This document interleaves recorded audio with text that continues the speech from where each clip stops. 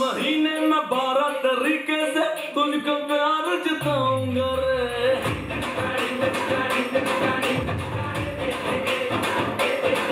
കഴിഞ്ഞ ഒന്നര വർഷമായി നടന്നു വന്ന മാമാങ്കത്തിന്റെ അന്ത്യഘട്ടം.